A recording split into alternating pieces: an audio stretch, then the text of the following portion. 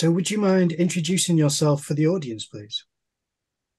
Um, my name's Daniel Shadbolt. Um, I'm a painter. Um, I'm English. I'm 43, um, and I locate my own painting in a within a tradition that um, is largely a French tradition from 19th century painting, a European tradition that's uh, concerned with atmospheric color is what I would describe it as. So the roots are probably in impressionism and expressionism, and they go through artists like Vuillard and um, Giacometti and somebody.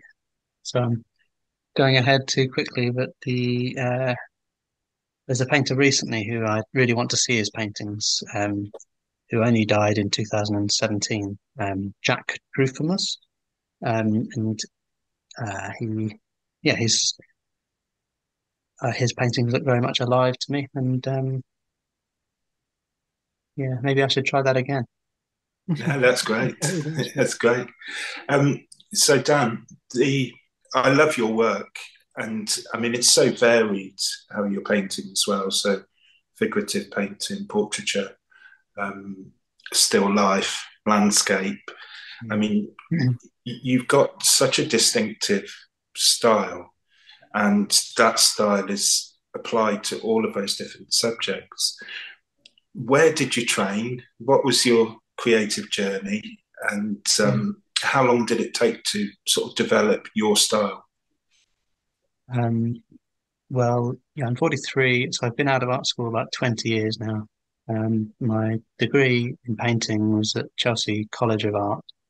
I started in 2000. I'm from Hertfordshire, I should have said, from in Garden City. So I moved to London and did my degree. And um, Chelsea had great visiting tutors, um, a lot of painters that have stayed really stayed with me. Uh, one of which I wanted to talk about today was Lucy Jones, um, whose whose paintings, a lot of landscape painting, quite large scale, very bold, and um, I think of her work recently when I attempt to be bolder myself, which you know, if I've, for instance, gotten into working sort of foot square or two feet size, then I to get out of that um, sort of bracket, if you like, and to paint from the you know using your shoulder, your arm, your shoulder rather than your hand and wrist is a it's a good thing. And um, so that was Chelsea. Well, it wasn't Chelsea. There was loads of painters there. Um, Chantal Joffe, Hughie O'Donoghue, um, painters. Chantal Joffe said to trust the paint, which um, stayed with me also to not, you know, not try to over um, overdo something. Well, um, let me come back. um, Chelsea was sort of huge opening up of the world for me because meeting people from um, all different backgrounds and um, you know I, I, probably was in a bit of a cultural um, vacuum. I hadn't been to London very much, and I didn't grow up with art. So Chelsea really opened things up, and you know the enthusiasm, the ambition, and the people that I, that I was sharing studios with, um, really, really interesting and um, committed um, artists. Uh, so after Chelsea, I got into the Royal Drawing School. The, it was called the Prince's Drawing School then, and I did the drawing year, which was one year of drawing every day, all sorts of subjects, and very much uh, taught in the manner of the artists that you would do a class with. They were teaching their connection with the visual world through their own work. So everyone was different, and you um, you could absorb as much as you wanted of this. Um, well, it's it's it's like another world, isn't it? This experience of art. Everyone has this shared time spent painting or doing something creative, and um, talking about it is tricky because um, you know paint is is stuff, isn't it? Yeah. Uh, and so to get a handle on it, I I, I didn't grow up. You know, I've I've definitely struggled with um, articulation. You know, um, but I read a lot when I was younger and uh, absorbed as much as I could. So I was quite, uh, the drawing school was good in the sense that it did nurture its alumni. You, we got some experience of teaching by um, doing what was called the drawing clubs, teaching the drawing clubs, so young artists. And for a couple of years, that was really um, insightful because you really related to these young adults and could see their um, openness towards things and their attention was it was really um, great to find that um, it's a basic thing, isn't it? You know, we, we, if you think of everyone doing their own work, it's all it's all going forwards, and everyone's kind of parallel to each other, just trying, you know, and and it's only the trying that matters. So that's the that's what Giacometti said that. Um, so let me that was 2004. So since then, I did some technician work where I was setting up life class and um, drawing alongside. I always did other jobs, but only became self-employed until about until I only became self-employed in 2007.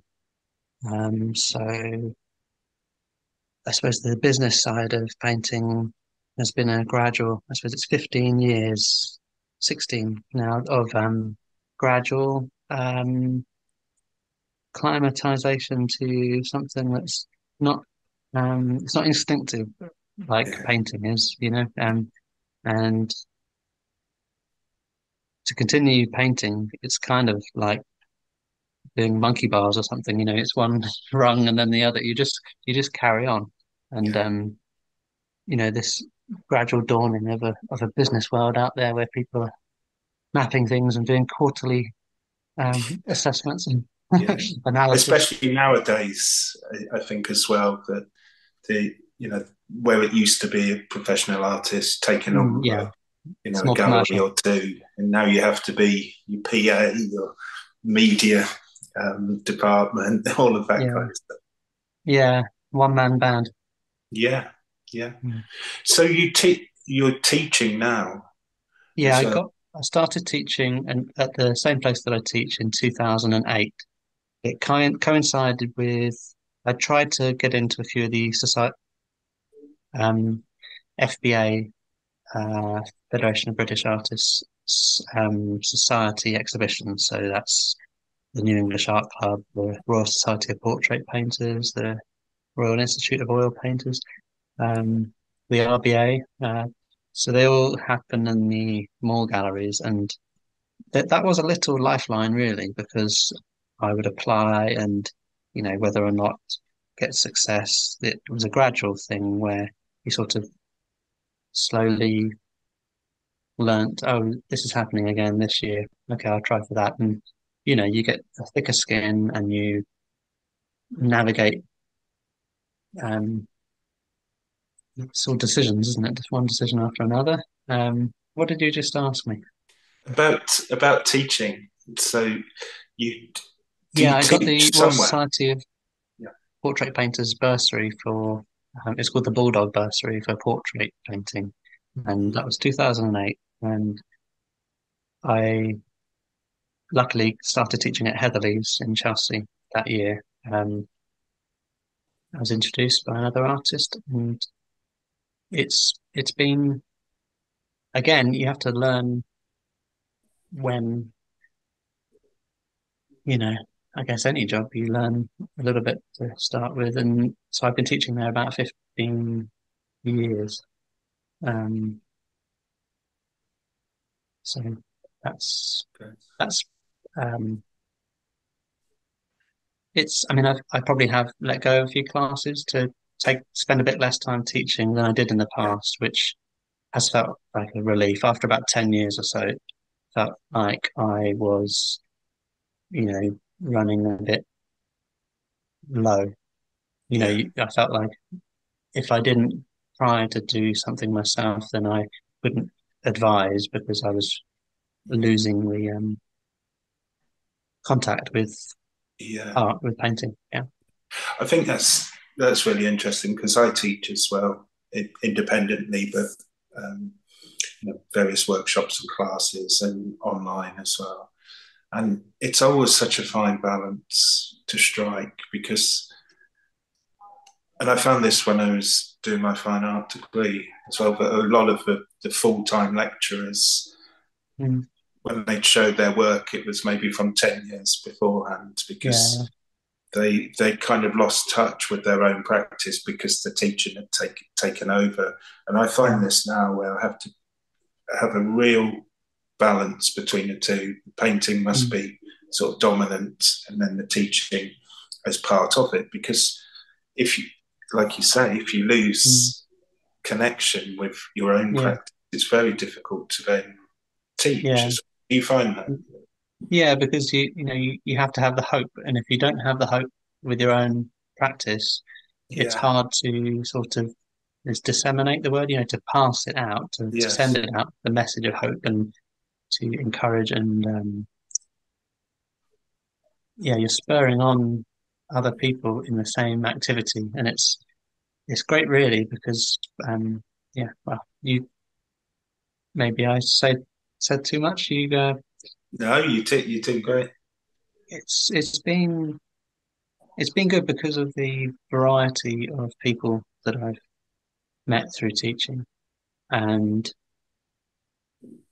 I try to paint in the class, which um, I didn't always do, but it Mhm. Helps me to not not um, you can sort of stumble into this position of authority and you know this sort of aloof um, Yeah. power floating about the room and decreeing that you know somebody's painting should be more like this or more like Yeah. that and you know it's it's hard enough to actually get on with it you know um I've got a board of feeling words here to read every now and again and one of them is disorientated. So frequently painting is a disorientating experience and you you start off think maybe with an objective I'm going to do this but within um minutes you can lose yes. you know it all falls apart. And so the, the something like still life I've sort of clung to it. Um I started with on the second year of my degree um looked at Chardin and thought you know there's something something in this uh, idea of looking at something a lot and you know trying to remake it over and over and over and Mm. and it's it's um it's pretty crazy behavior. Yeah. Well, I, I think with the, the still life thing, it is interesting. Like you mentioned Chardin there, and um, I read a book. I think it was Alain de Botton um, wrote this book about Marcel Proust, and he, Marcel Proust, the writer, was sort of obsessed with Chardin. You know, to, how he would sort of just like meditate upon these things um, i- in the still life. I paint still lives every now and then, and I find them fascinating because,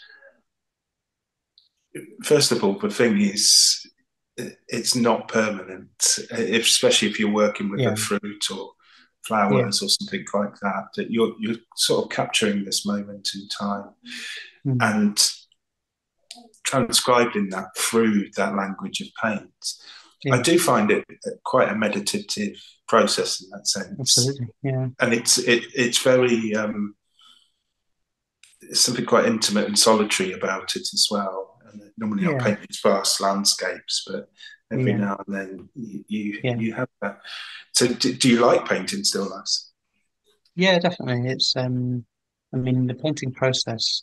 I, although the, the kind of painting varies, I don't divide it. It's a similar varying state of absorption, concentration, and just battling. You know, you, um.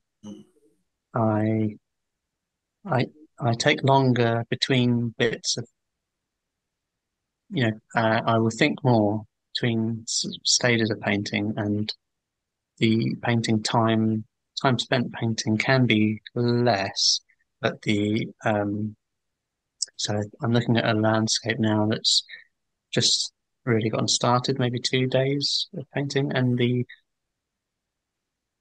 it's it's a bit like what I want to say is a, it comes up clearly in painting from memory. You know, if you're trying to paint a place from memory, and you know that I suppose I think of the landscape as mainly being about the sky and the land and the division between them and that sort of horizon distance. That's the that's the thing that attracts me to it because you stand in front of a canvas and you push a color and then try another one and it's you position yourself in the in in between those two marks of color and you know how does that place even exist? Yeah yeah. It's it's it's it's so um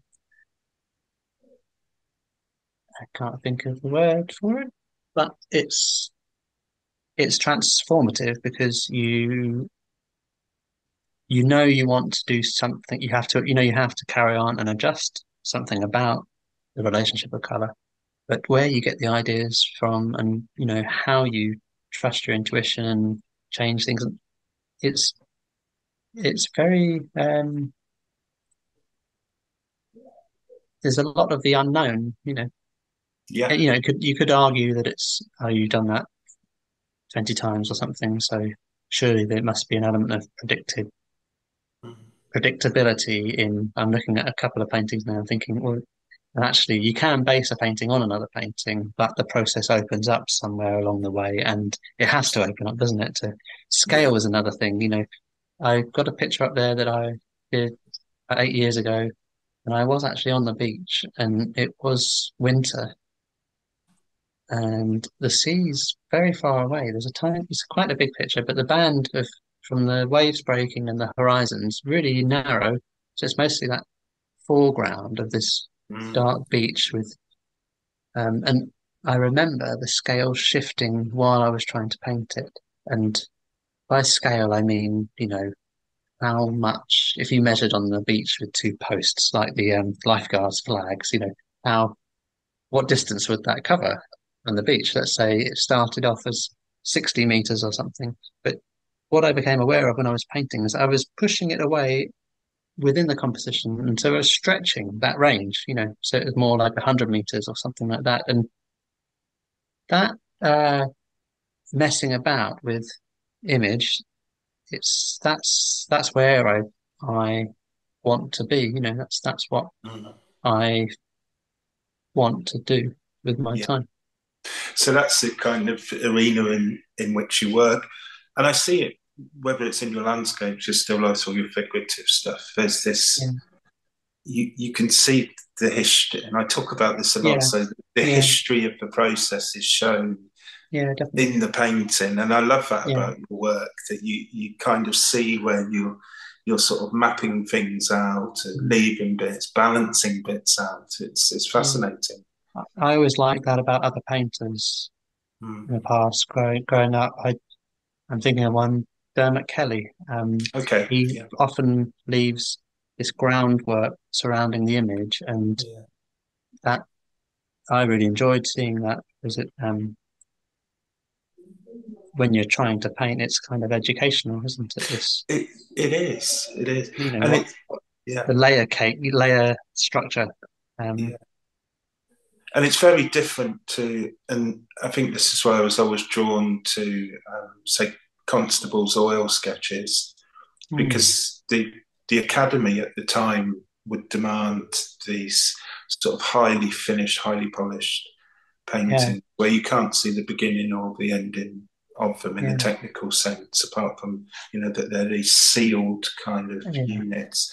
But when you look at Constable's oil sketches, they've got what we were talking about there. They've got this rawness and the, the whole history of the making in them. Mm. Uh, and I, I, just find it so inspirational like that because as painters we can see much more. Yeah, and isn't it um, intriguing how he did the large scale studies? You know, yeah. I think the V&A have um, one that you know it's it's very there's not a lot of color in the picture and the handling is very broad so yes.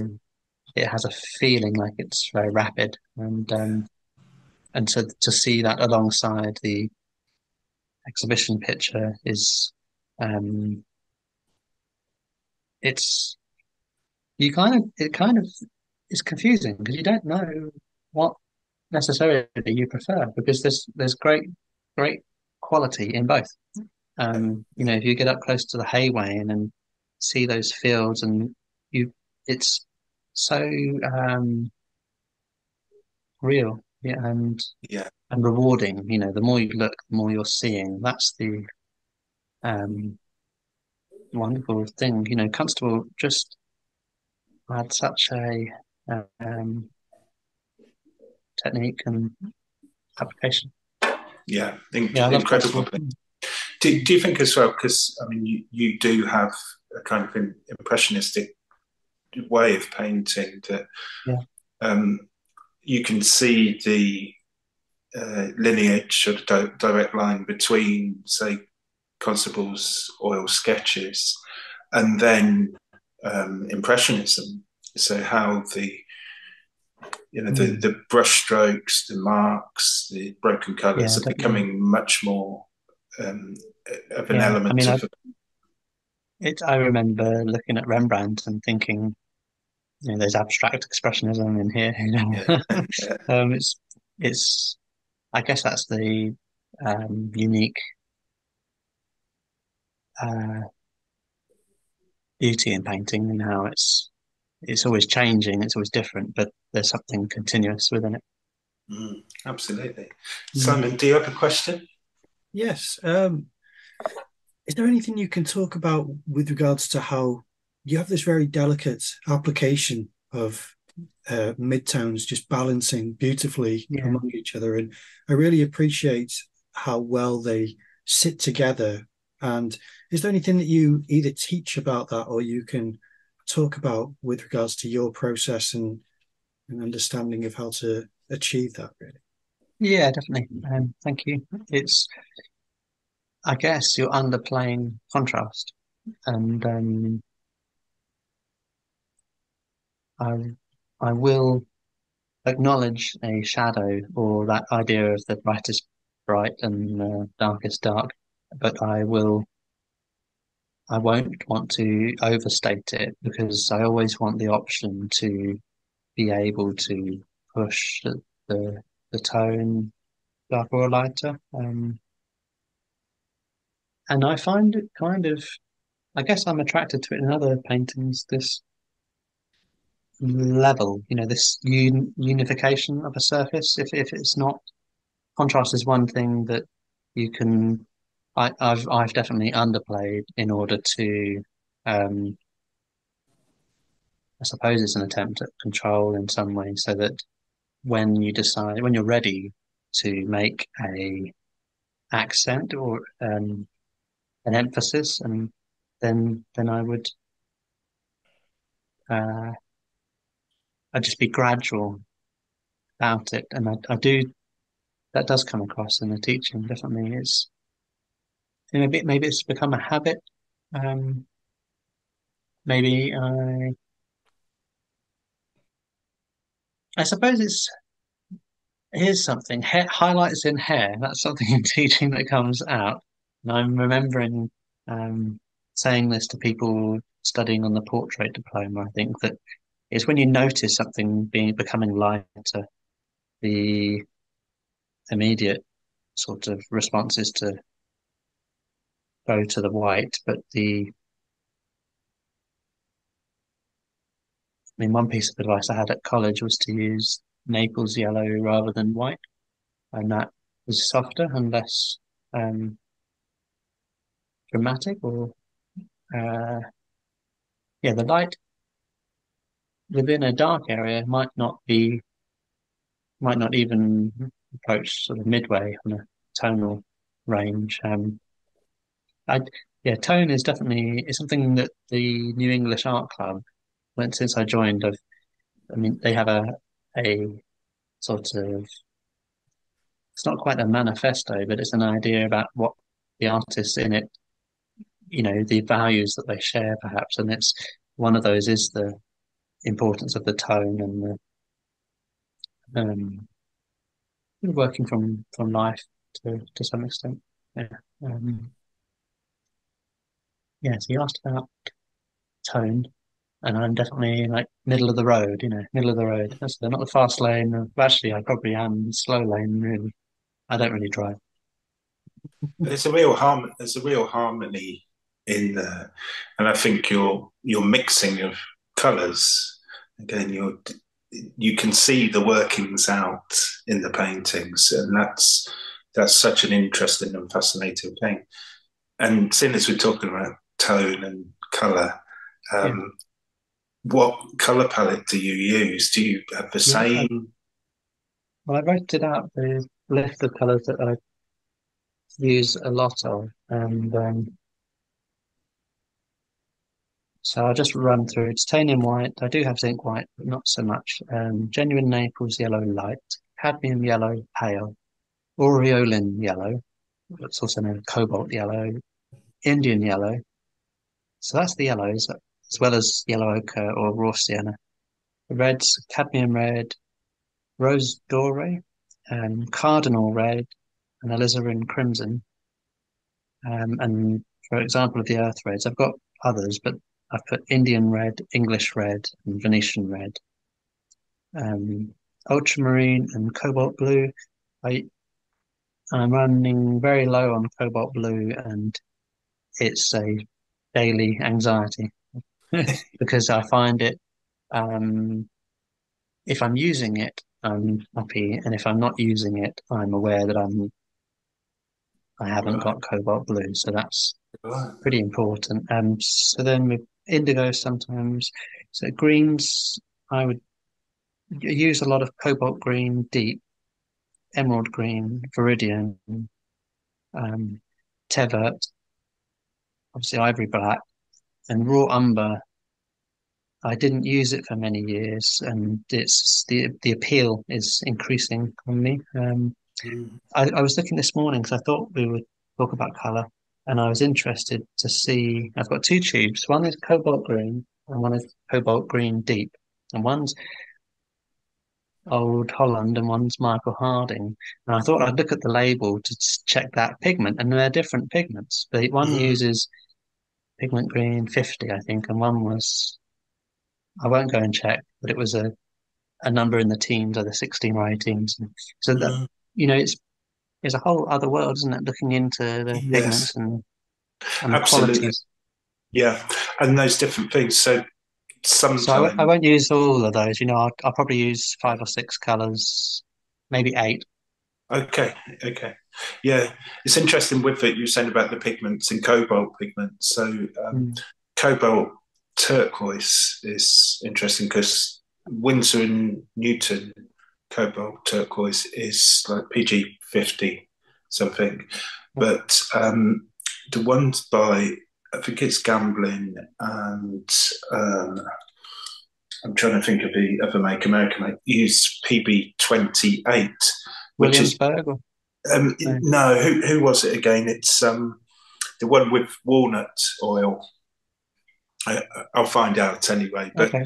but it's um, let me just have a quick just have a quick look because it's um, good to talk about it. But anyway, yeah. the the PB28 pigment, which is the same as um, a normal cobalt blue, yeah. is not PB28, but it's so um, it's so beautiful and different in tone.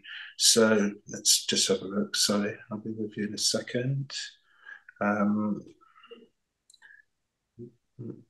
Okay, so M Graham, M Graham paints, and um, I haven't heard of them. Yeah, Jackson mm. sells them. They're really, really nice, and it's made with walnut oil.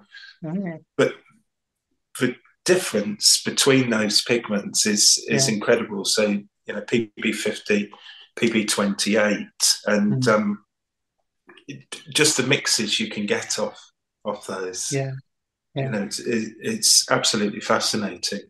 Um, Dan, you were saying about the uh, Naples yellow, the Yeah. genuine Naples yellow. Yeah. Um, which brand is that? It's Michael Harding. Yeah. you know, you've been using because it's it you know it it is like light in a tube. It just Mm. um, lifts everything without uh, loss of saturation. So it's pretty useful. Yeah. Is it lead? That's lead based, is it? Yeah, yeah, Yeah. Yeah. Yeah, because you can, I mean, the the Winsor and Newton Naples yellow which is a hue basically. I mean, Yeah. it's it's closer to sort of a raw sienna or something like that. I've, Yeah. I've yet to use the Michael Harding, and, and uh, but would like to. yeah. y- y- The thing to watch out for is whether the tube is a mixture of white and yellow, isn't it? And if Yeah. you, if that's that's the telling sign. Um, but you know, I don't always use it, probably because of its expense. I, I quite, I think cadmium yellow pale is the most versatile one. But for a long, ye- for a long time, probably 10 years, I got it down to three colors to probably because I wasn't, I would buy the big tubes, but I, they weren't high series colors. So that palette that it was quite dark as a palette. My yellow was Indian yellow, Michael Harding, that had, I thought it was quite versatile. So you Mm. could get good lights from it, but the dark, the depths were there because of its tone. Um, even though it's very warm. That's the thing that makes me not go to use it now is it's incredibly warm. Yes. So Indian yellow, alizarin crimson, and ultramarine were that. That was sort of. I felt like that was the base palette. So for a long time, if I had those, um, I felt like things are possible. Mm. They're all quite transparent colours. Those, Yeah, they are. Are. Yeah, Yeah. they are. That's true. Yeah. Yeah, the in, I use Indian yellow quite a bit as well, and Yeah. I use the, the one from Jackson's Art Supply. So I think it's the same, uh, their professional one. I think it's the Yeah. same pigment as the Michael Hard one, but it's just an incredible color. I mean, all you need is a little bit of white, and it is so Yeah. And I tried one. There's a brand of paint that you can get called SAX, S-A-X. Yes. Um, I think it's going out of productions. Um, and it's the AP Fitzpatrick in Bethnal Yeah. Green in London. That's where you could get it from. And I, I got this Indian yellow made, manufactured by SAX, and the color actually took me over. I haven't had much of that uh, experience where you feel intoxicated by Mhm. the color. And but this color, it made me. At one point, I painted over this big interior I'd been working away, partly because the painting hadn't gotten, it didn't have a, much life to it, and I probably didn't have any more canvas, so I just covered it with this color because I wanted to see it, and um, yeah, that's probably um, something I would. I'd like to get back to that uh, bravery. It's quite brave. It felt brave, but just it's pretty stupid, really, because all it is is squeezing colour out of a tube and putting it onto a surface. Yeah. Uh, Do you, do you find then you're becoming more cautious over time? I Less bra- think it's I think it's inevitable over time to be cautious. Um, but as long as it, as long as it feels like play at some point, you know, it's, Mm. it has to get to that point of um, risk taking is one way to describe it, but that sounds a bit serious. But you know, it's more just, you know, I wonder if, I, you know, what would happen if I did that? Um, and I probably my outlet for a lot of that is in ground preparation, Mm. um, cleaning a palette and just applying that to surfaces that are lying around, and then gradually altering those colors over time. That's that's probably where I um, enjoy paint. There's a purity to that uh, messing about, Richard. It's just it's just pushing it around and um, and then letting it be, which is very different to the struggle of representation, especially when that's when it gets like I was painting grapes um, for a sort of anxious 45 minutes earlier today, and the grapes are red grapes, but they're they're the greenest red grapes you've ever seen. So the color shifts are um, it's almost like you look at the grape and it's red, you look away, you look back and it's green, and it's um, that kind of uh, craziness. uh, but as long as you're uh, absorbed, it's absorbs absorption and attentiveness mm. is the aim, and that's the process which leads to a feeling of being connected in some way. Um, the and the image is always there, isn't it? You paint and run out of energy, and then if you're lucky, there's something to look at. You put it on the wall, and it, when you run out of energy, you can still see. It might not be the best time to look at something, but it's it's that idea of um, a bit of consolation in in the in the um, activity. It's that's uh, kind of rewarding, but yeah. maybe that's a bit optimistic because it's a lot of the time it doesn't work, and you know it feels quite um, discouraging painting. Yep, um, very much so. very much so. No, but the good thing about a class is that you get a bit of buoyancy and momentum with, yeah. you know, being around the other people doing it. Yeah, so.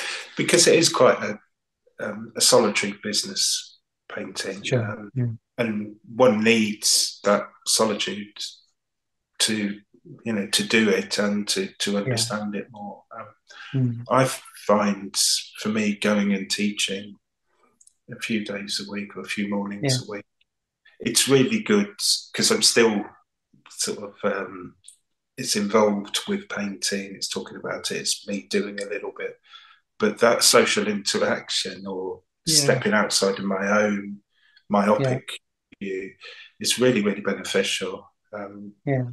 And helping other people, of course.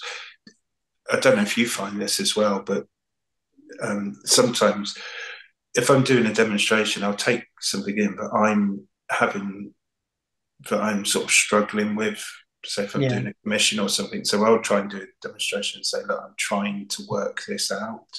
Yeah. And often can't, and will say to people, I'm struggling with this, or and then to see them like solve some of those issues yeah. in their own pieces. It's heartening yeah. Yeah.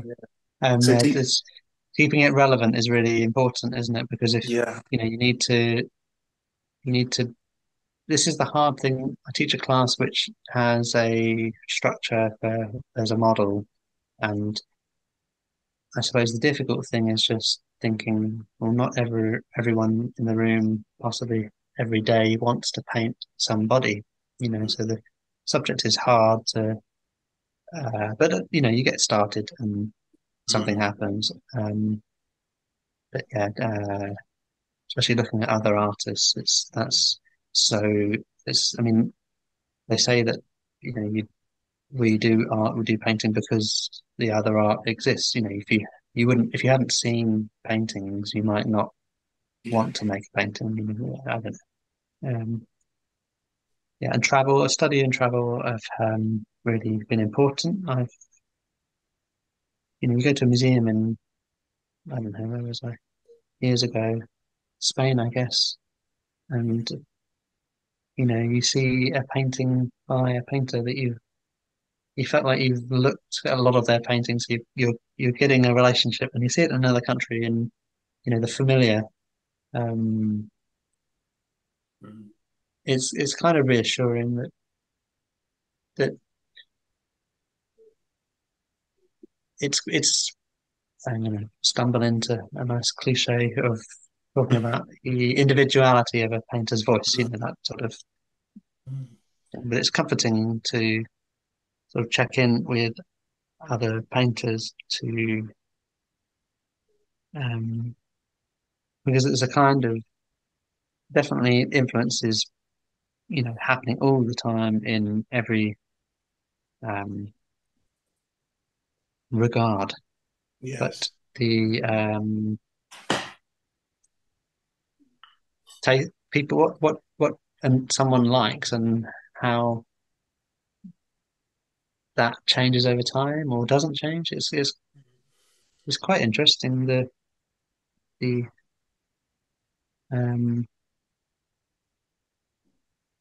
you know why why why I've got a Giacometti portrait on my iPad to remind me of you know what was he thinking while he was staring at this person and um Yeah, it's incredible. Incredible. And it's interesting now because I didn't make that relation with your work and it Giacometti being an influence, but I definitely see it now.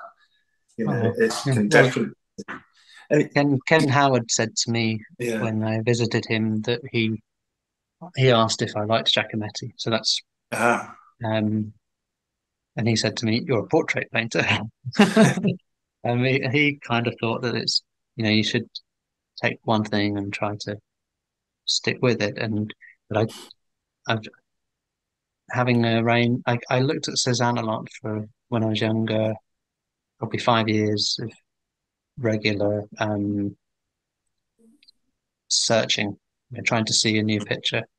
And there's there's there's even a catalogue raisonné online now, which is I don't know if other artists have it, where you can see every painting, every drawing online. It's you know there's over a thousand images. That, have to say so.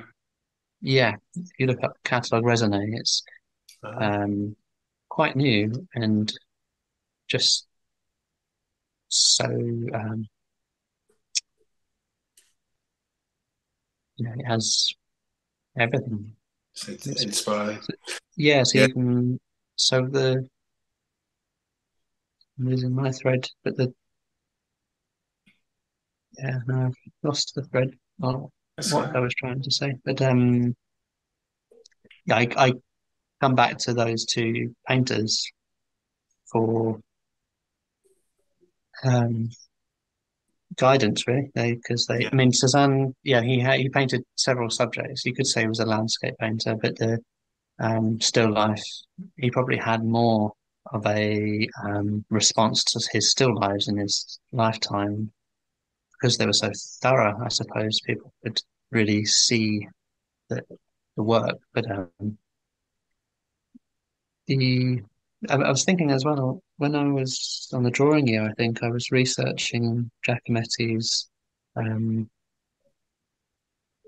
work, and in, I remember being in the V&A Museum to, to look at their copy of uh, Paris Without End, Paris Sans Fin, that Giacometti worked on. And I just looked up before we did this today that it, he was he started it in 1957 and there's 150 lithographs that he would go outside and draw um, in this. And he, you know, he owned, it was still being um, organized at the time. You know, he died in 66, 65, 66. It was, uh, yeah, 66. Um, so it's very much, it was a commission really just to put together these drawings and they range in subject. Um, yeah, we think of Giacometti as the figure in sculpture, don't we? And the portraits in painting, but these drawings have got such a um, you know, they you really feel like you're seeing something through someone else's eyes, which is pretty pretty good. And yeah, he uh, I'm sure he ends up in bars and clubs as well while while drawing away.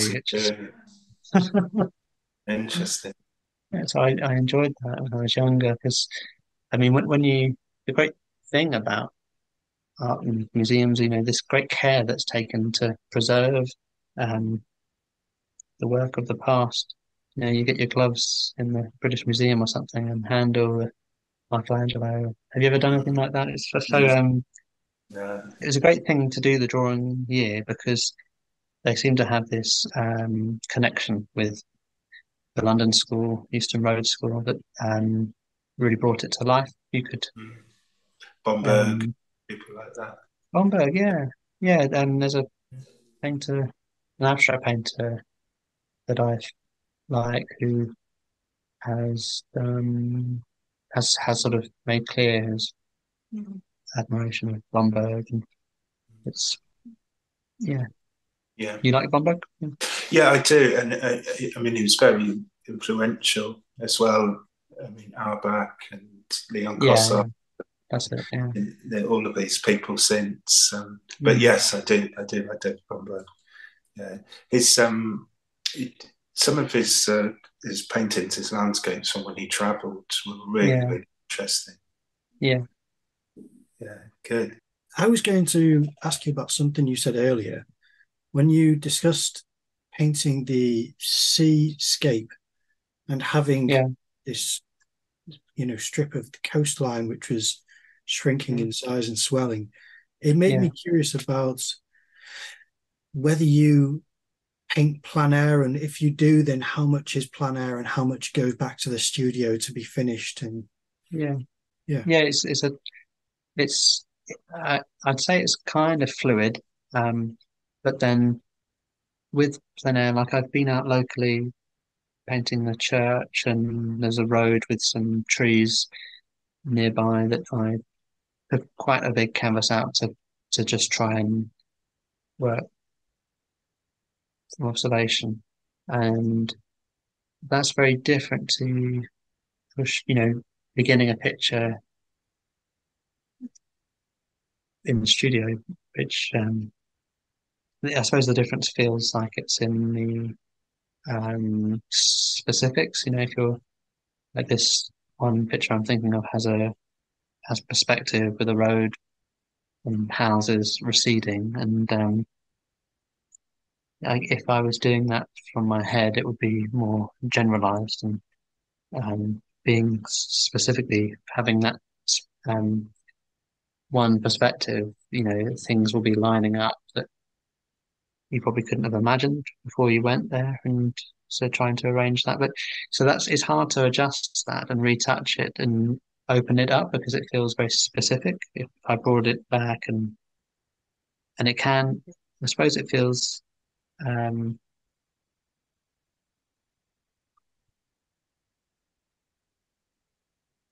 it, yeah, it feels kind of closed and not open. And that's the danger because, you know, I don't know what I feel about it and I want to get involved with it. So I, have been thinking about for a few days putting a glaze over a picture made in Kensington Gardens, probably over the bottom half, because of the when I was painting, I was very um, cautious or just uh, the touches were very small and um, I didn't get a hold of the overall uh, color or tone. So, but then, because it feels like you, you can't get once you put a color on top of a plein air study, it feels it feels risky. But I think I'll do it. I think talking about it's making me think that I shouldn't have been worried about it. I should just try it, and then, you know, it can only go wrong, and you can always do another painting. Yeah, it, you got to try to open things up, and yeah, but you know, there's always a compromise, isn't it, to some degree? That's the reality. Is you you have courage, especially when beginning, and it you're reduced to this sort of kind of worry, but um, just a lot of doubt, doubt about an image. Um, and sometimes you can doubt the ones that you spend longer with, but it's hard because you, uh, over time, I trust more pictures that have got a steady construction slow over time. And, you know, I do this bit today and come back to it and then I'll, I'll go a bit over here. And this, I trust that the most, but it's quite rare that I can begin a picture with that uh, sense of measure. You know? So, um, do you find a question on that? Um, do you do you find that you're working on lots of different pieces at once? Um, that it's not, say, a, a, linear thing that you start a painting and you follow it all the way through, but yeah, like you described there, you've got a few, you just adjust here and there. Yeah, no, it's totally chaotic and um, it's not entirely random, but I definitely don't know what I'm going to do each day. At the back of my mind, I've got possibly two or three pictures that, you know, if I was conscientious, more conscientious, I would, you know, pull them out, put them up, and make sure I at least look at them to think about the next move that I'm thinking about doing. But I don't know. It's um, the first thing is just to get painting, and a lot of the time it will be um, something small or even drawing is a good thing to begin with because it's um, I procrastinate a lot. I give myself a hard time for not doing the kind of painting that I really think I should be doing, whatever that means.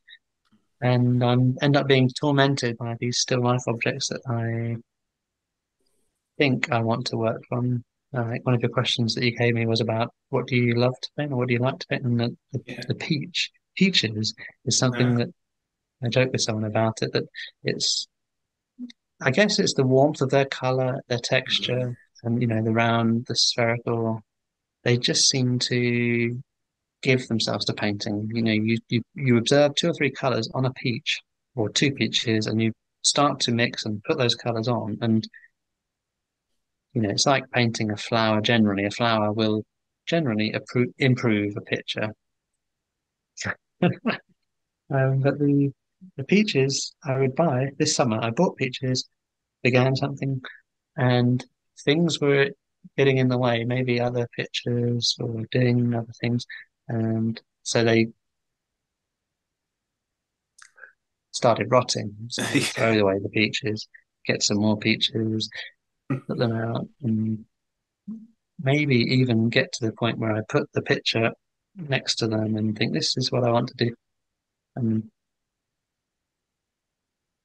I don't know, something interrupts the thread, the distraction. I, I just follow whatever I'm interested in at any point. So I'm sure I bought peaches three, three times at least, and they, it felt like they were accusing me. You know, these fruits in the room.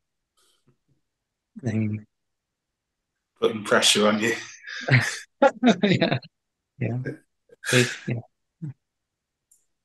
It's interesting to hear, hear, that because um, I've done it before where I've gone and bought flowers and uh, sort of got because that was the instinct. You know, the instinct yeah. was to do it. That I want to do it. I should be painted still up, but and I'd buy the flowers and then get them back to a studio. But then they're taken by something else. And, uh, yeah. yeah. And then I've said, well, I'm not really feeling the flowers right at this moment. And it's yeah. sort of tricking myself in a way because you don't have to feel something to actually get on with it. You know, I was yeah. sort of deceiving myself in a way.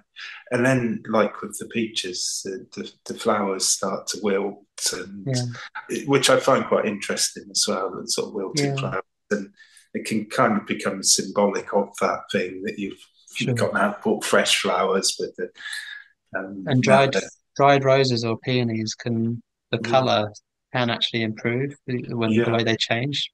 Probably to do with the saturation, I guess. But yeah. um, a lot of flowers I will take out of water, and they can they might not be the main subject of a new picture, but they can you can add them to arrangements, and it can give variety. Yeah. Um, so Pete, so peaches are your your favourite things when you get round to do if I'm if I'm feeling wealthy, I'll probably buy peaches when I'm doing the Yeah. shopping. You have to Um, get a, a, a peach tree in your garden and it be. yeah, that's a good idea. Yeah, yeah. So, Dan, you, your wife Jessica is also a painter, which Yeah. is so it's you. You're both painters, and Yeah. I can imagine you there both both paint in a way. Do you have your own studios? In, in Yeah, we do. Um, so front and back. This is south facing. She's north facing. No, other way around. This is north facing. She's south facing. Great. Um, but yeah, no, we look at, talk about, and um, exchange uh, thoughts regularly, and um, yeah, you- and going to shows. We want to go and see the uh, Rose Hilton and Tony Iton exhibitions before they finish. Yeah. Great. Do you? Um, I, I was saying this earlier about um, my friends who sort of mentored me down in Cornwall, and they were um, not married, but they were a couple. And um, I always used to find it fascinating that they go in for tea breaks, go into each other's studios, and sort of give this very honest critique, probably Right, more right. honest than you know most people could, Yeah. but because they knew each other really well, they would. Yeah. Do, do you do you help each other in that way? Yeah, I think there's a you know instinct and trust that's uh, and sensitivity that's just continuous. It's part of a relationship. So the um, if if you want a second opinion, it's useful to Mm, have someone with the understanding, definitely. mm. Mm. Um, That's great. Um, and I saw on your Instagram, or just just because you've been to Ireland recent, quite yeah, recent. yeah, we travel. When- Jessica's parents, Yeah. um, and the coast there is nice. It's quite feels more wild than the UK. There's there's a Yeah. forest that ends up on the beach, quite tall trees, and um, I mean, it's always the light that's light around water is always special and unique. And um, yeah, I'm glad for the time. Uh, Jessica, she did some. She plein air has always been an interest of hers, um, and the I've definitely done more being with her. I did a lot when I was younger, but the um, it's a great um, way to spend the time to Mm. um, travel and paint with rooms. Do you find it Yeah, gets sort of getting out of the studio and that plein air Yeah. experience is very helpful? Yeah, exercise. Yeah, yeah. And um, things are never how you imagine them, are they?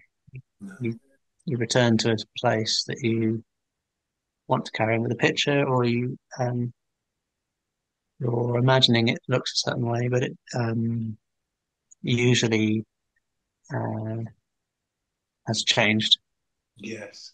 And even when you're there, I mean, it's unlike the still life. I mean, you can Mm. get sort of nuances of light changing, but Yeah, the landscape or sky, sea, yeah, I mean, it, it changes within minutes, you know. And if, it, if you're painting, we've talked to quite a few plein air painters on here, and it's always Yeah. fascinating about yeah. that. I've enjoyed you- listening. Yeah. Yeah.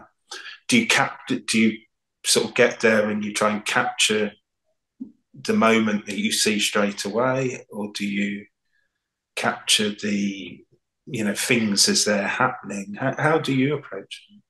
Um, well, I mean, you've got the practicality of packing and arranging materials. So usually it's fairly small scale, and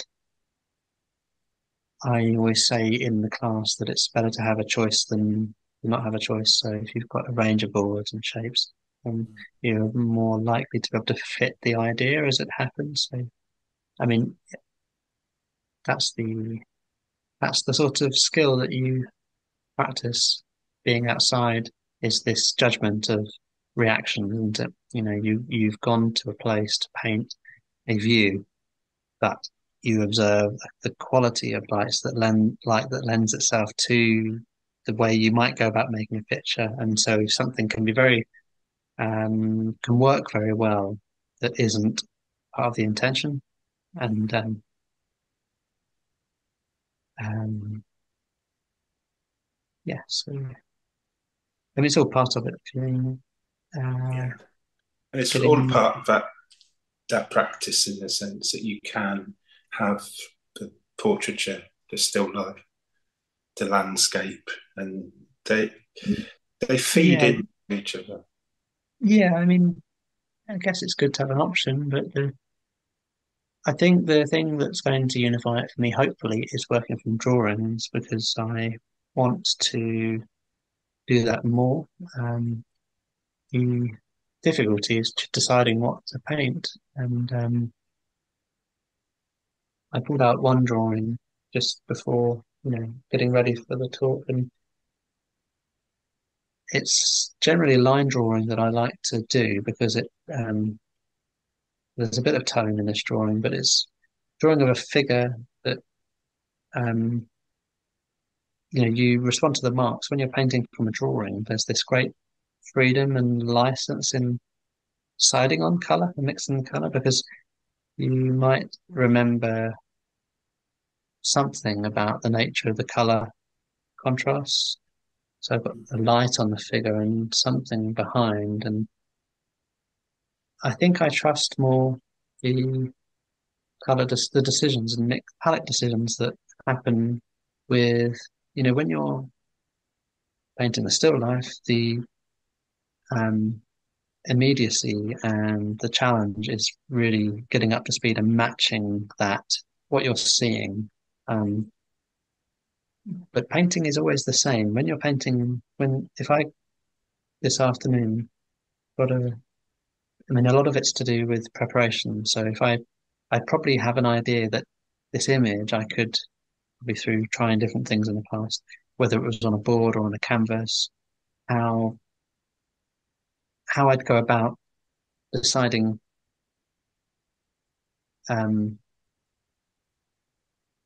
on the support would be probably a big part of it for me. I think that's maybe, I mean, I say to people in a class that this what the picture is on is half of what people see. Maybe that's stretching it. You know when you're making the picture that that difference in um, give of the canvas or the firm response of the board. So that that's really what I'm thinking about, and to make the colours from in from experience, I suppose, would be just as difficult as trying to match painting the colours that you're seeing in the still life. Um, but I think it, I feel like you have to have more courage to attempt it from a drawing, and um, I suppose the one benefit of painting from drawings is that you can tell if it's not working. It's easier to know what isn't working because it's the whole thing is going to be it's so sort of made up, I suppose, you know, that, that it's so artificial. The artificiality is heightened in the process, and yeah, at the same time, when you're without that um, information of working from life, something can feel less um, arresting, or you know. But if your if your pictures are about become about the paint and the um, you know, what's happening across the surface, then yeah, it's hard to know what to do, but that's you know that's that's a good thing really to um to to work on. It's that physicality that you're talking about there as well. Of, um, the language of of the paint itself. Yeah, and That that, that painter Truphémus, I was just thinking of his images. There's so much. There's a bit of sometimes they have um the construction you were talking earlier about the the way the picture is made being visible, and um the first thought I had seeing some of these pictures, they're a bit like late Monet or something, where the it kind of feels like the the brush has been put down mid thought, you know, and you, as you viewer, you come into it and you think, uh, you're involved in the in the mm. decision making process. Thought I had something to say there, but it kind of doesn't. Yeah, no, that that is interesting. That, but but the viewer becomes sort of part of it, you know. But it is mm. that engagement on that level. I've always been fascinated by the, the materiality of the paint, and in particular, yeah. paintings that show that physicality. Um, you know, and I think impressionism, in a way, because it sort of coincided with, um, you know, the, the, the, kind of the rise of photography in that sense. Yeah, and the paint being in the tubes, wasn't it? About around yeah. 1850. Um, yeah, we've got timelines. Um, in class, I was making a timeline of um, ah. female artists. I was reading um, Katy Hessel's um, story of art without men. And Interesting. The, yeah. It's after 1850, there's suddenly, honestly, so many more painters that we're aware of than, than yeah. before, which yeah. I think is to do with the paint being in a tube. Yeah, the paint, paint tube. I heard something as well the other day about the um, about flat brushes that they, they'd worked out how For to make. Yeah, to, yeah, to, to, flatten them, but it also sort of coincided with um, you know photography in that sense. Yeah. It, but it become much um, more like accessible, not like it is today or in the 60s, 70s. But it meant that painting had to sort of, in a way, not so much compete or re- respond, but it really developed its own language or own yeah. way of seeing the world. And then you get yeah. you know, impressionism as a as a symbol of that, and that mm. that physicality.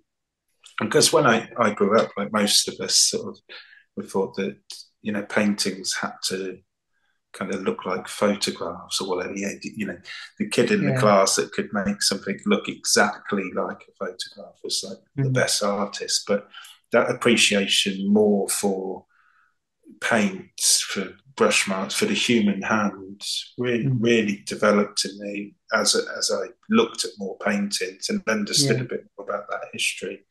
Um, yeah. It's fascinating. Yeah. Simon, do, do you have a question?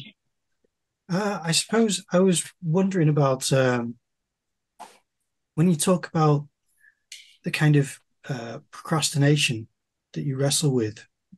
Is mm. there any benefit that you think you can glean from procrastination? Because that can be quite an important part of the process you know? You're preserving your energy. Yeah.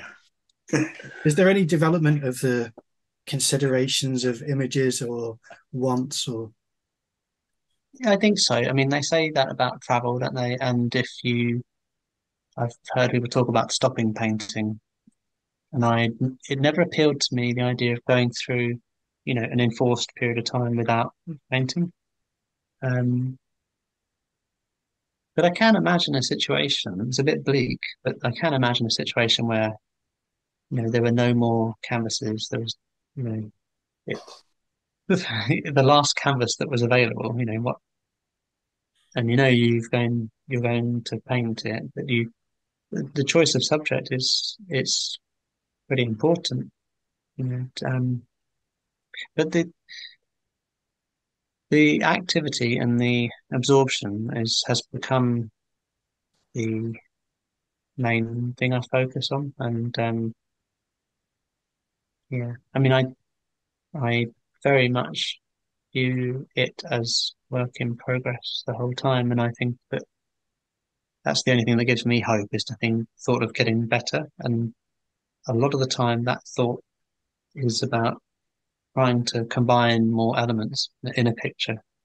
Um, I think back to a painting I made on my foundation course that had, I think I combined all these different sources, you know, and um, photography, drawing, painting from life. It was quite a small picture, but and there was about six figures in it or something. So it was just something that I it's it stayed with me. The the, you know, how did I get the idea? How did I go about doing it? I, yeah, just, I, I mean, the thing with age is that you, you know, you're kind of attempting to recreate a, um, an invention that might be, you know, it's more staged, if you like, more artificial, because it's you're recreating something that's already passed. And um, I guess the yeah the consolation of painting is is that it can be this calm accumulation of observations. But, uh, so it's you're constantly thinking about painting like Simon was saying, procrastination in that sense. I think procrastination is it is for me anyway very much part of the, yeah. process that paint you know painters aren't you know turn up to the studio start painting mm. from 8 a.m till 8 at night mm. there's lots of staring out the window for me and lots of sort of walking around yeah. the block and but i'm still thinking about painting are you the same yeah, yeah, definitely. I um probably actively trying to get away from it. Um, quite rarely, really, because most of the time it just feels comfortable in in a good way. That um, if I if I want to, I can start a painting. That's the the that's the the urge, isn't it? Just yeah. to have access and the materials and yeah. Um, but the idea of having a vision, you know, and seeing something that you want to paint, you want to remake, is that's um, I suppose it's rarer. You know, you might only have a handful of images in your lifetime, really, that you from start to finish feel quite um, like you've originated them and they and you've brought them to some sort of conclusion. Um, do you yeah, have many, doesn't happen often? But... Do you have many? I mean, I always hate this question when people ask me if I don't hate it, but um, I don't know how to answer it. Do, um, do you have a favourite painting, or are there a few that you would you would say, look, this is um, a, you know a real success, and you can see where, like you were saying earlier, you sort of sometimes feel like you should be painting some, you know, almost something else some other way. Are there any paintings where you you are very proud and, and you can? Um, right. Uh, I'm not sure because I really do try to keep going and keep looking ahead.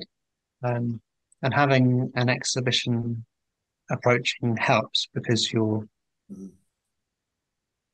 your working time is spent in imagining what it could possibly look like. You know, to walk into a space that you know where the pictures are going to be, and you I wouldn't say you're designing a show because that's feels it doesn't actually feel like that because when you paint, you're just involved and it's kind of like a um, it's like you have you have to get lost. You have to the confusion has to um, uh, increase before the order can sort of re- be reasserted. But, um, uh, I, I suppose if there's a, a, I'm more proud of something that felt, um, uh, I, I mean, it has to be. There's a picture of an interior with a figure in it that felt like one of the first pictures that I had kind of pieced together, and I don't think I knew it at the time, but when I saw Bonnard's glass of bowl of milk. You know that painting that the Tate Yeah. Tate Modern has it, and Yeah. and there are all these these drawings that he did to piece it together, and I I suppose I felt like I was imitating that, but without the knowledge of that Mm. painting. If I think about the process, and there's, but then I suppose a figure in a room. Um, there's it's complexity, but I, when I thought of that when you first asked, I immediately thought of something that is very different. So the a flower painting, probably that I did a week ago, Mm. that um, you know, I haven't shared it on social media, but the, that might also equally feel like an achievement, probably because of the um, some memory of the the state I got into while making it. You know, it felt um, sometimes it does feel like you just take yourself out of the process. I I think it's you know something that's been said a lot through at art school and since when you when you start painting, you're in a room full of all the people who've uh, criticized or commented or I think it's Philip Guston that this comes from. And one by one, that you keep painting and the people leave. You know this Yeah. one? Yeah. And then gradually you leave. Yeah. And once you're out of the way, Yeah. that's when the painting just sort of starts. And you know that can happen um, quickly. There's no, there's no, um, there's, you know, uh, I mean, your sense, your own sense of value about what you've done is is a tricky one. But uh, yeah, I could roll up those canvases and put them in one little bag and have a Mhm. box of drawings, and that would be okay. I think. Yeah. Yeah. Yeah. It's Uh, interesting with because I often reflect on that um, thing. I mean, I don't, you know, have favourite paintings, but I do see paintings that were, let's say, sort of breakthroughs.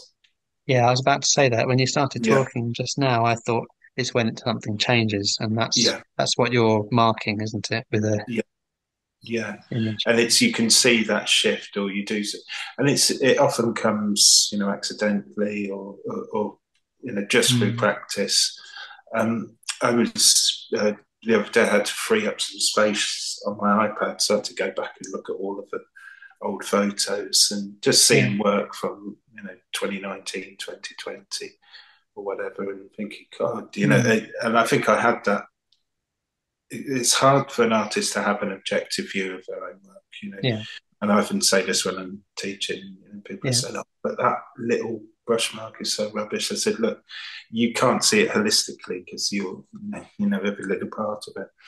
Yeah. So I went back and looked at this old work, and I did for you know a split second or two see it kind of objectively, but Mm. could also see then that um, sort of arc that I'd been on and thought, oh, actually, I'm getting somewhere because a lot of Yeah. this stuff is awful, you know, from my own perspective. Um, and it, I think it's sometimes very hard for us to see as artists that sort of Mm. our own kind of development through time. Yeah. Um, yeah, because even if you get two mirrors and put them together, it's Yeah. still, um, you know, that kind of reflection which is different to a single mirror. Um, yeah, still, You uh, you mentioned exhibitions earlier. One of the things Yeah. we do like to do is to make sure that the audience who are listening or watching know where to go to support or see your work. Do you have exhibitions coming up or any social media you want to promote for people to go and see and support you and your yeah. work? So next May, 2024, um, I'll be doing an exhibition in Dulwich in 155A gallery with um, Karen Smith is the gallerist there. Um, so that exhibition is what I'm painting towards now. Um, I landscape, still life, and portrait will will figure in it. Um, yeah. Uh, two rooms. There's an upstairs and downstairs. So um, a range of pictures, and I went. It's the first solo exhibition since the last time I had just my paintings in a place was 2016, I think. So um, trying to enjoy it and um, uh, trying to be bolder, thinking of um, artists I admire. But, you know, you look at their painting. I'm thinking of Lucy Jones again. I'm, I can hold her painting in my mind, and I don't think she felt fear. She must have gone through a process, but her painting is um, uh, it's inspiring to, to think of. It's helping me to right now to think about um, working larger, painting studio-based landscapes. That's, that's um, yeah. Excellent. And aside from the that exhibition, is there anywhere? Do you have a website or anywhere you'd like the viewers or listeners to go to support you? Is it Instagram or is there other platforms that you'd like to promote? Yep, Instagram's the most um, regular, most frequently updated. Um, I have a website, which is just my name, Daniel Shadbolt. Um, the New English Art Club website is probably probably um, a another space to see paintings. Um, yes, I think that's New English Art Club. Uh, you'll find it if you put in New English Art Club. I'll put the links in the description of this video but yeah, you've been incredibly generous with your time. I really appreciate being able to well, talk to you. It's been lovely. Nice to see you and talk to you here. Um, uh, I was going to ask you about your music. Um, I can see a guitar. Yeah, well, that's and uh, a plectrum. Yes, that's right. That's yeah. a work in progress. That one. Uh... you ever pull it out on screen? No, no, no, I'm not at that level yet. I could do a little on the ukulele, but the guitar is uh, something I've only done a couple of pieces with, and that was for a specific uh, promotion for an exhibition this year. But yeah, yeah, uh, yeah, the music is something I'll be making a video about at some point soon. So if you are subscribed, which I appreciate, to, uh, to yeah. My, you'll see yeah, that. I look forward to it. Yeah. yeah, I mean, you can't live without music. It's totally a part of my life, and um, absolutely Lovely. No, I appreciate that. Thank you very much. Lovely to meet you, Dan. You too, Richard. What do you play? Uh, me? No, I don't. I listen. I listen to a lot. Palette knife. yeah, I, um, I, I always wanted to play guitar, but I was too impatient when I was younger, you know, to, okay. to learn. Do, what instruments do you play? Um, I've been trying to learn piano, but I played guitar since I was a teenager, ah. and um, was in a band. Uh, cool. um, but yeah, no, it's uh, very much a hobby. Mm. Yeah. There may be a potential collaboration there. Yeah. That's yeah. mu- musical side project. Absolutely. Yeah. Great. Wonderful. But yeah, well, thank you very much. Yeah, thanks for coming on, Dan. It's great to talk. Thanks for asking me, and um, it's I enjoyed it. It's uh, good it's I like the uh, space you create with the podcast. Thanks so much. Cheers.